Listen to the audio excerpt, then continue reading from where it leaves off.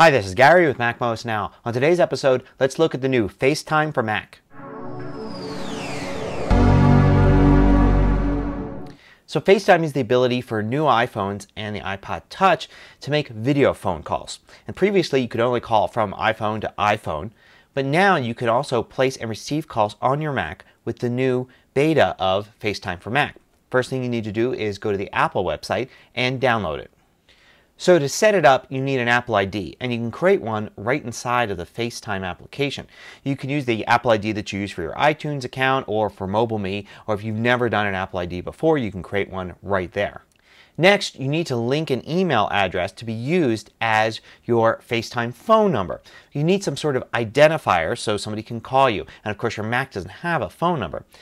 So you can use the one that's associated with your Apple ID or you can add a separate one, add several of them, and these will be what somebody could use to actually place a video phone call to you. Now to place a video phone call from your Mac, what you need to do is first add the information for the person you want to call to your address book. There's no way to add information like that inside the FaceTime application and you can't make a call by simply entering an email address or phone number. So once you've added it to your address book, then you can just select that person from the list. If there's multiple ways to call them, like say an email address and a phone number, it'll ask you which one you want to use. And then you can just place the call. So that's basically it. It was very easy. All I did was click on one of my friends. I uh, called Leo Quinn and just had his phone number in there, which was his iPhone phone number, and it immediately came up as an incoming video call. He took it and it showed up on my screen. It was very simple. Now, if you've got a Mac that you're calling to, then what will happen is the Mac will actually show an incoming call as well. You don't even have to have FaceTime running. Just having it installed is enough to then launch FaceTime when a call comes in and give you the option to accept or decline the call. If you want to turn that off, say not receive incoming calls for a while, you can go into the FaceTime preferences and switch FaceTime off. Now, if you're calling to another Mac, then that person just needs to have FaceTime installed. If you're calling to an iPhone or iPod Touch, then that person needs to be connected to a Wi-Fi network since FaceTime doesn't work over the mobile networks. Now what's cool is somebody on an iPhone or iPod Touch can call your Mac. All they need to do is click on the FaceTime button for your contact and then it will ask them to select either the email address or phone number to call. If they select an email address you've assigned to FaceTime on your Mac, it will put the call through and your Mac will then notify you that a call is coming in and launch FaceTime, give you a chance to accept or decline the call.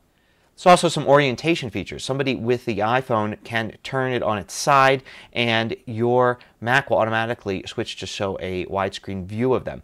Likewise, on a Mac, you can click a button and actually switch from the vertical default view to a widescreen view that they would then see on their Mac or iPhone device.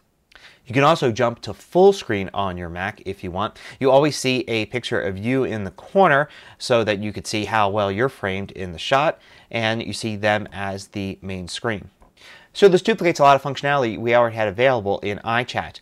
Uh, the difference is that now you can actually place these calls to the iPhone and iPod Touch and it's a much simpler method of calling and it gets completely away from the MobileMe slash AOL uh, networks that iChat uses and takes you into this entire new FaceTime thing. And since FaceTime is something that Apple plans to distribute as kind of an open framework, then it means other devices may soon be able to actually make calls to and from your Mac as well.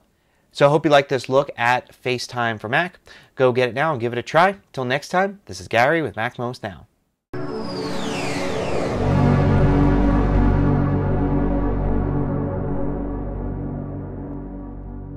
Want more videos? Just go to the MacMost.com website, click on the videos link at the top, and then you could browse all of the Mac, iPhone, and iPad videos by category.